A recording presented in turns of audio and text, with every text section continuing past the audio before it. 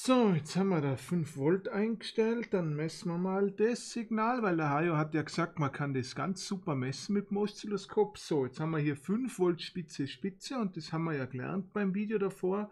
Das kann ich jetzt hier ablesen. Ich habe 500 Millivolt pro Kästchen, 500, 1 Volt, 2 Volt, 2,5. Errechnet man es aus, 2,3 Volt. Das ist jetzt da schon wieder verkehrt. Jetzt habe ich hier 35 Megahertz und 5 Volt, Spitze, Spitze.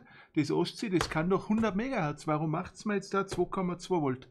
Ja, das erkläre ich euch jetzt in dem Video, weil das ist ein Thema, da muss man echt aufpassen. Also da stolpert man relativ schnell in der Falle, weil man liest da oben 100 Megahertz beim Ostsee, aber das werden wir diesem Video auf, in diesem Video auf den Grund gehen, also da braucht es keine Angst haben. Das sage ich euch, warum das so ist. Davor schauen wir uns aber noch was anderes an, weil ich das auch ganz, ganz oft gefragt worden bin wie funktionieren überhaupt diese Eingänge? Wie hängen diese Eingänge untereinander zusammen? Und ähm, was ist diese Eingangskopplung, die wir da drin haben?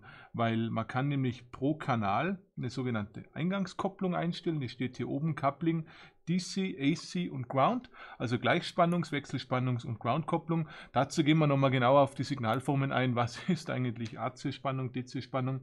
Und da gab es nämlich auch ein paar Fragen in den Kommentaren. Da gehen wir heute ganz genau drauf ein, damit da keine Unklarheiten wieder da sind. Und dann schauen wir uns das Ganze mal an, warum das hier so blöd rummacht und was eventuell die Tastköpfe, die Kabel oder das Ostsee uns für Probleme macht. Jetzt betrachten wir einfach mal unser Ostsee. Und jetzt schauen wir uns mal grundsätzlich einfach mal an, was das hier vorne, hier links haben wir den Signalgenerator, was das hier vorne überhaupt für Anschlüsse sind. Die Anschlüsse, damit ihr das mal wisst, wie die heißen, sind sogenannte BNC-Anschlüsse, also weiches B, N, C. Anschluss. Das ist so ein klassischer Bajonettverschluss, den steckt man ein, treten so eine Viertelumdrehung oder was rüber und dann steckt er und in der Messtechnik unglaublich gängig, kennt man auch in der Funktechnik. Also früher bei den PCs hatte man auch so Stecker mit den alten Netzwerkkarten. Also ein ganz, ganz häufig verbreiteter Anschluss. Und wir müssen uns jetzt mal anschauen, was dieser Anschluss eigentlich wieder aussieht, innen drin, was der für einen Aufbau hat. Und zwar haben wir hier mittig einen Leiter und außenrum haben wir einen sogenannten Schirm. Also da ist ein Metallgeflecht drumherum und innen drin, ich sehe, habt hier ein Bild davon, dann seht ihr es besser, und innen drin haben wir einen Leiter in der Mitte. Wenn man jetzt eine Symmetrielinie einzeichnen würde, eine Achse einzeichnen würde, hat man quasi einen Kreis und einen größeren Kreis außen drum herum. Das heißt, diese Kreise befinden sich um eine Achse drumherum und wer Maschinenbau gemacht hat, der weiß es, die Abhängigkeit, die man dafür benötigt, im CAD-Programm zum Beispiel, heißt koaxiale Abhängigkeit. Also koaxiale Abhängigkeit, eine Achse für mehrere Kreise. So, und das Ganze nennen wir jetzt einfach Koaxialkabel. Fertig. Das war's schon. Das ist ein sogenanntes Koaxialkabel. Jetzt wissen wir mal, was das Kabel ist. Wir wissen, was der Stecker ist, BNC-Anschluss. Und jetzt müssen wir uns mal überlegen, wie das Ostsee intern aufgebaut sein muss. Bei dem Oszilloskop haben wir 230 Volt dran. Also hinten kommen irgendwo 230 Volt rein. Jetzt ist natürlich 230 Volt immer so ein Thema. Da gibt es aber ein paar Gerätenormen und wenn man zum Beispiel Metallgehäuse hat, muss man ja sicherstellen, dass diese 230 Volt nicht aufs Metallgehäuse kommen, weil wenn die da drauf kommen und ich klang dagegen, dann feuert es mir eine und ich liege am Boden. Wäre uncool. Und bei so einem Messgerät haben wir jetzt hier natürlich praktischerweise ein Kunststoffgehäuse. Da denkt man sich, ja mal, Kunststoff, da passiert ja eh nichts. Also da ist man schon mal auf der sicheren Seite. Es schreibt die Norm aber vor, dass alle metallischen berührbaren Teile nicht stromführend sein dürfen, weil wenn ich jetzt zum Beispiel mal mich das hier genauer anschaue, dann habe ich ja bei diesem Koaxialstecker, bei diesem BNC-Stecker hier außenrum Metall. Und da kann ich jetzt dagegen fassen. Und das ist ganz einfach. Da kann jetzt Kind dagegen fassen. Also sagt der Gesetzgeber, man muss sicherstellen, dass auf diesen Außenschirm keine 230 Volt drauf sind, weil es könnte ja ein Fehlerfall passieren, irgendwo drin fällt ein Kabel ab, das geht unabsichtlich darüber, der Teufel schläft ja bekanntlich nie. Also muss man einfach sicherstellen, dass diese Anschlüsse draußen rum keine 230 Volt haben können. So, beim Gehäuse macht man das ganz einfach, man erdet das Gehäuse. Man hat ja diese 230 Volt L hier irgendwo, dann kommen die 230 Volt N rein und man hat gelb-grün noch irgendwo den, äh, schauen wir, wie ich das gezeichnet kriege, den PE. Und somit habe ich auch eine Erde mit dabei bei meinem Kaltgerätestecker. Und wenn ich jetzt ein Metallgehäuse hätte, würde ich einfach das Metallgehäuse erden. Beim Ostsee sieht es genauso aus. Ich erde einfach diese Außenleiter. Die verbinde ich mit PE. Somit stelle ich sicher, wenn irgendwo hier 230 Volt drauf anliegen würden auf diesen Steckern, weil irgendwo drin ein Kabel abfällt, fliegt der FI raus. Fehlerstromschutzschalter, bam, scheppert zwar wahrscheinlich trotzdem, aber man stirbt zumindest schon mal nicht, was sehr vorteilhaft ist. Und jetzt überlegen wir uns mal, wenn dieser Anschluss hier mit PE verbunden ist und dieser Anschluss hier mit PE verbunden ist, bedeutet es für die Anschlüsse untereinander, also die Außenleiter der Anschlüsse untereinander, dass natürlich auch der linke mit dem rechten verbunden ist, der linke mit dem und Kanal 3 mit Kanal 4. Natürlich auch genauso hier rüber, die sind auch mit verbunden, weil natürlich die alle mit PE intern verbunden sind. Bedeutet also, ich habe eine gemeinsame Masse beim Ostsee. Und das ist zum Teil echt ganz schön doof. Also da muss man echt aufpassen. Man hat eine gemeinsame Masse am Oszilloskop. Das spuckt uns bei den Messungen zum Teil gut rein. Wir machen eine Diodenkennlinienaufnahme dann. Da werden wir uns das genauer anschauen, was wir dagegen machen müssen. Und Zusätzlich dazu gibt es dann ein Video, wo ich die Thematik 230 Volt, was ist, wenn wir hier vorne messen wollen, die Thematik mit euch behandle, weil die ist richtig kritisch. Da müssen wir dann richtig krass aufpassen, wie wir das hinkriegen, dass das Ganze einigermaßen funktioniert. So, jetzt haben wir hier quasi unsere Außenleiter mit PE verbunden, mit Erde verbunden. Bedeutet, wir haben ein mega geiles Kabel beim Ostsee drin, denn dieses Geflecht hier draußen, dieses Metallgeflecht, das sich hier draußen am, am, Koaxialkabel befindet, das ist Erdpotenzial. Also haben wir einen richtig tollen, coolen Schirm. Das Kabel schirmt uns vor allen möglichen Störungen ab und wir können hier auch relativ kleine Ströme mit diesem Innenleiter messen. Deswegen hat man das Kabel auch früher ganz, ganz viel verwendet, weil man da echt richtig schön abgeschirmt ist gegen ganz viele Störungen von außen. Jetzt haben wir den Außenleiter angeschaut, unseren Schirm. Der ist schon mal toll und gut, sind wir happy, wir haben echt eine tolle Abschirmung, wir können richtig toll messen. Jetzt gucken wir uns den Innenleiter an. Und zwar kommt der hier an, wir haben hier so goldenen Nupsis im BNC-Stecker drin und das sind in dem Fall Buchsen. Der Stift ist im BNC-Stecker, wie ihr jetzt hier auf dem Bild auch super erkennen könnt. Und nun sieht es so aus, dass dieser Stecker vorne, wir haben einmal unser Außenleiter, der geht nach PE, haben wir gesagt. Und dann haben wir irgendwo unseren Innenleiter. Und jetzt müssen wir uns anschauen, wie dieser Innenleiter ins Oszilloskop reingeht. Und da sind wir jetzt beim ganz wichtigen Thema und zwar bei der Kopplung. Jetzt gibt es, wie ich euch am Ostsee vorher schon gesagt habe, einmal eine DC-Kopplung. Das wäre ein Schalter. Da geht das Ganze eins zu eins weiter. Ich male es euch jetzt einfach mal auf. Dann gibt es einen Wahlschalter, der heißt AC-Kopplung. Da geht das Ganze über einen Kondensator drüber. Vereinfacht dargestellt Wahrscheinlich ist da mittlerweile schon ein bisschen mehr Hightech drin heutzutage. Und dann gibt es eine Kopplung, die heißt Ground. Und da geht das Ganze einfach auf Masse und gar nicht vorne zum Eingang. Da ist der Eingang, hängt da frei. So, und jetzt müssen wir uns zwei Dinge anschauen. Einmal, was macht der Kondensator da drin? Also was macht jetzt hier unser komischer Kondensator bei der AC-Kopplung? Und was ist bei der DC-Kopplung zu beachten und was sind Gleichspannungs- und Wechselspannungssignale. Und da haben wir ja beim letzten Video, gab es da ja Diskussionen in den Kommentaren. Ich finde es ja mega. Ich finde es ja wirklich mega. Ich male euch jetzt mal ein Signal auf. Hier haben wir die Zeit, hier haben wir die Spannung mal beispielsweise. Und jetzt male ich euch da mal einen ganz klassischen Sinus hinein. Ein ganz klassischer Sinus mit hier oben und hier unten den gleichen Pegel ein ganz klassischer Sinus ist definitiv ein Wechselspannungssignal. Denn A erfüllt da eine Bedingung, er wechselt das Vorzeichen, wir sind hier positiv und wir sind hier negativ. Ein Wechselspannungssignal wechselt immer das Vorzeichen. Wenn es das Vorzeichen nicht wechselt, kein Wechselspannungssignal. Und die zweite Bedingung erfüllt der Sinus auch.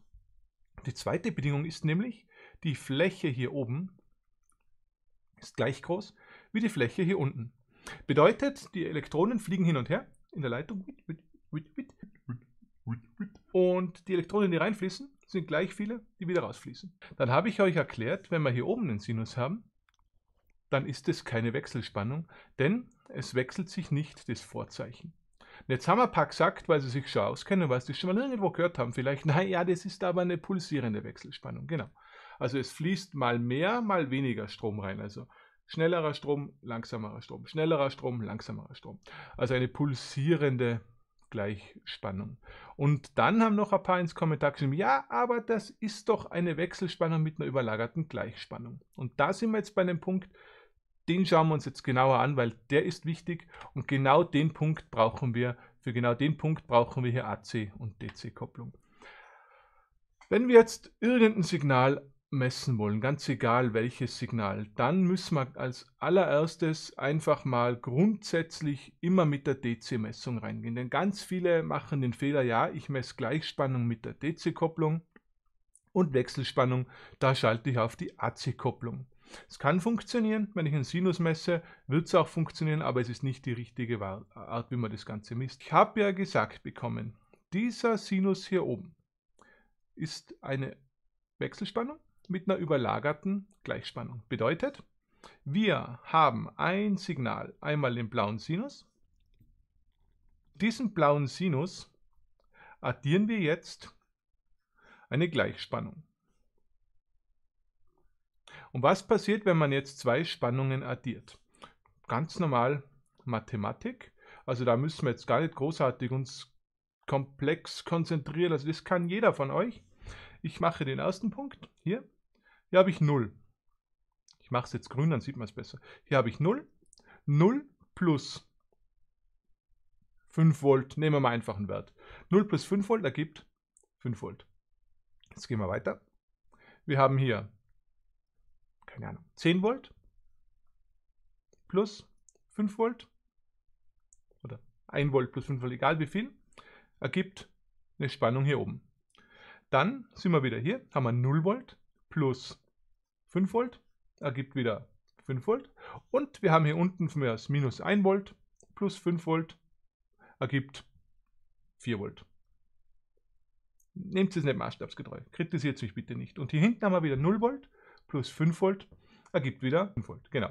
Und wenn wir die ganzen Punkte jetzt verbinden, die wir addiert haben, kriegen wir hier hinten wieder unseren Sinus, der aber nach oben versetzt ist. Dieser Sinus, diese Wechselspannung, die wir hier haben, das ist eine reine Wechselspannung, AC, wird mit einer Gleichspannung überlagert, DC, und ergibt in dem Fall definitiv eine DC-Spannung, weil wir haben keinen Vorzeichenwechsel, das oben und unterm der X-Achse ist nicht gleich groß in dem Fall eine pulsierende Gleichspannung.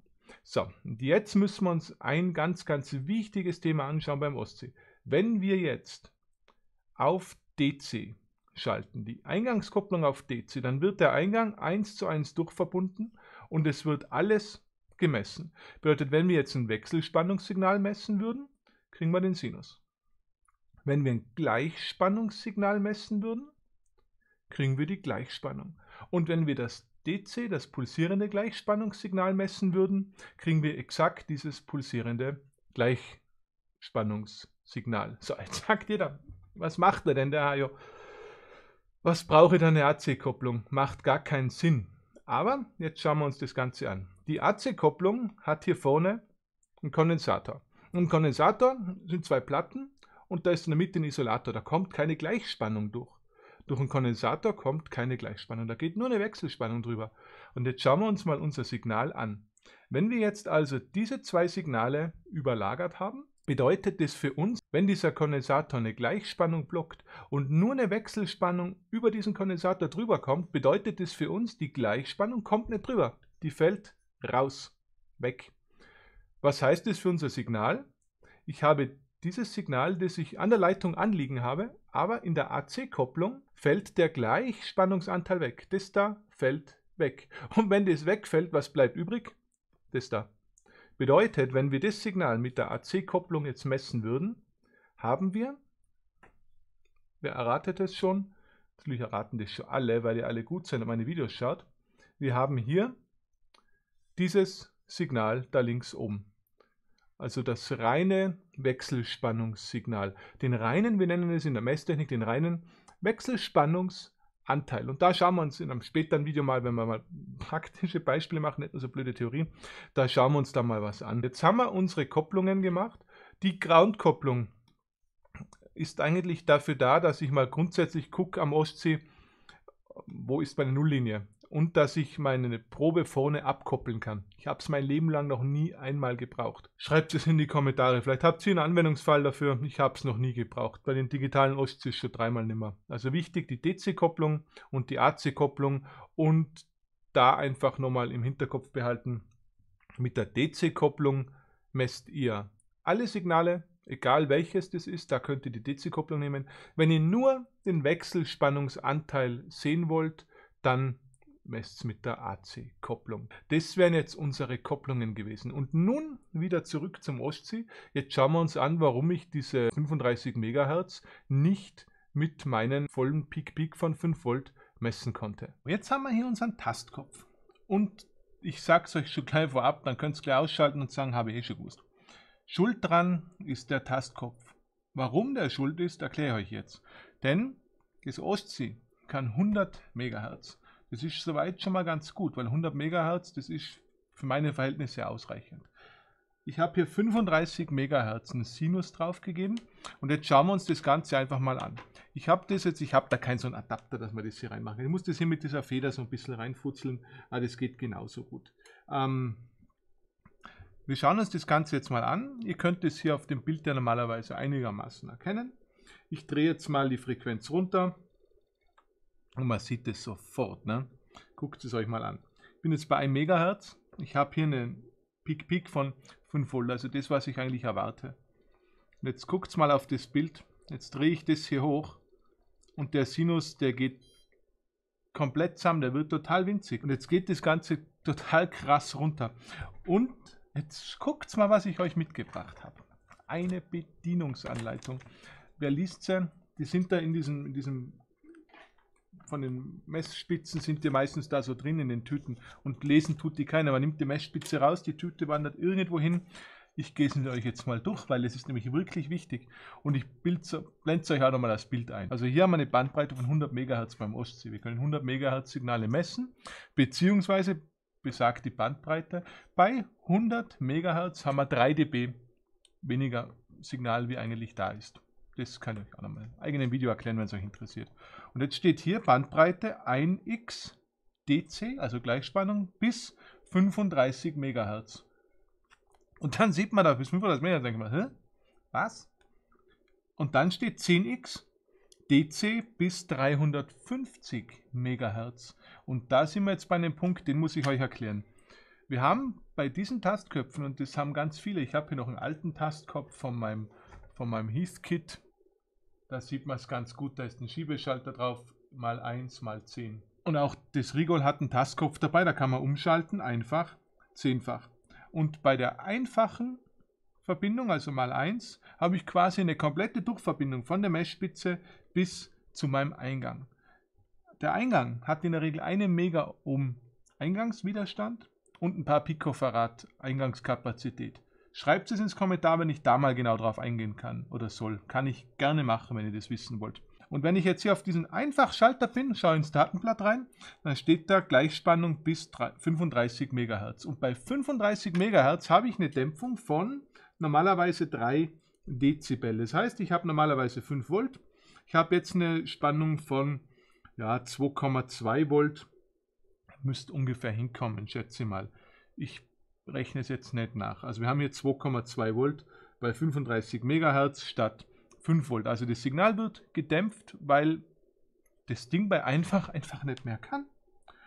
Und jetzt haben wir aber halt echt ein Problem, weil ich würde ja gerne auf einfach messen, weil ich habe jetzt hier die Spannung 5 Volt und ich will die hier mit 5 Volt darstellen. Ja, da müsst ihr euch jetzt erstmalig überlegen, messt ihr mit einfach oder messt ihr mit zehnfach. Und mein Tipp aus der Praxis, manche Tastköpfe haben ganz automatisch diesen zehnfach schon drin, diesen Teiler, ohne dass man umschalten kann. Und das ist eigentlich die vernünftigere Variante. Man schaltet hier auf zehnfach und mal 10 heißt das Ganze. In Wirklichkeit ist ein durch 10. Ich zeige es euch jetzt mal mit einer Spannung weiter unten, mit einer Frequenz weiter unten, weil dann passt nämlich die Spannung zusammen.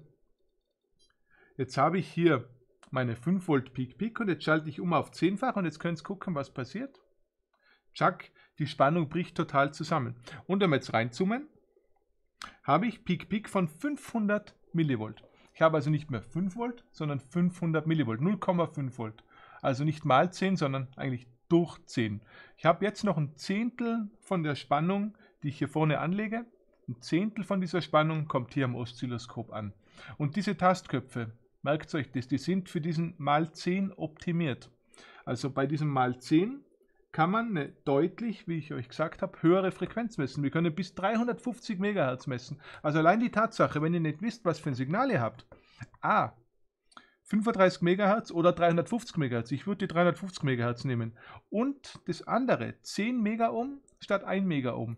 Der tut nämlich nicht nur die Spannung durch 10, sondern er multipliziert auch diese Eingangsimpedanz mal 10. Was heißt das? Der Eingang hier, also wir können jetzt hier mit Multimeter messen, der Eingang hier hätte 10 Megaohm, das ist brutal viel. Das heißt, unsere Messspitze, Prüfspitze, beeinflusst unsere Schaltung, die wir messen wollen, auch noch deutlich weniger. Also wir haben weniger Störungen von dem Gerät. Also meiner Meinung nach ist der mal 10 Faktor definitiv ähm, die Waffe der Wahl. Ich würde da nichts anderes nehmen. Und jetzt machen wir das Ganze mal mit diesem mal 10 Teiler. Ich gehe jetzt hier drauf, ich habe 1 MHz und jetzt drehen wir die Frequenz hoch. 28 MHz, 55 MHz und wir bleiben fast konstant bei 440 Millivolt, was wir da jetzt haben. Jetzt fragt sich wieder, jetzt hat er uns erzählt, dass das mit dem funktioniert. Jetzt haben wir hier wieder einen Einbruch und die Spannung bricht wieder ein. Ja, ich habe euch nämlich eine Sache nicht erzählt. Diesen mal 10 Faktor, dass das wirklich so gut optimiert ist auf das Ostsee, auf das Kabel und so weiter, Dafür gibt es eine kleine Schraube, an der kann man nämlich drehen, damit man das Ganze nochmal viel besser optimiert kriegt. Und jetzt erkläre ich euch mal, wofür diese zwei Anschlüsse hier rechts sind, weil das weiß auch nicht jeder. Man hat da rechts zwei so Anschlüsse und keiner weiß, wofür die gut sind. Die geben ein Test-Rechtecksignal aus. Wir gehen also mal mit der Prüfspitze da drauf, dann seht ihr, wovon ich rede. Wir haben ein Rechtecksignal. Und jetzt sagt jeder, bei aller Liebe, was du uns erzählen willst, aber ein Rechtecksignal ist das keines. Stimmt, denn der Tastkopf ist nicht, wie man es nennt, abgeglichen. Und diesen Abgleich macht man jetzt mit dieser Schraube. Und normalerweise ist da immer so ein Kunststoffschraubendreher dabei. Bitte wirklich einen Kunststoffschraubendreher nehmen, damit es nicht das Messsignal wieder verfälscht. Wenn wir jetzt mit diesem Kunststoffschraubendreher hier oben an dieser Schraube drehen, dann könnt ihr mal gucken, was passiert. Diese Huppel gehen nach oben und gehen nach unten. Und jetzt muss man das Ganze so einstellen und so hintrimmen, dass wir hier eine gerade Flanke oben haben. Also wie hier. Einen geraden Strich, der darf nicht nach unten oder nach oben weggehen. Und mit diesem geraden Strich schauen wir das Ganze jetzt nochmal an. Wir gehen auf unseren Eingang. Ich drehe hier auf 50 MHz. Ich drehe hier runter auf 1 MHz. Und jetzt sieht man, das Ganze bleibt auf dem identischen Pegel. Wir haben hier 400 Millivolt da ändert sich nicht wirklich was. Also ich habe jetzt auf 4 Volt runtergedreht, warum auch immer. 5 Volt Amplitude. Ich habe hier 500 Millivolt, egal bei welcher Frequenz ich das Ganze angucke.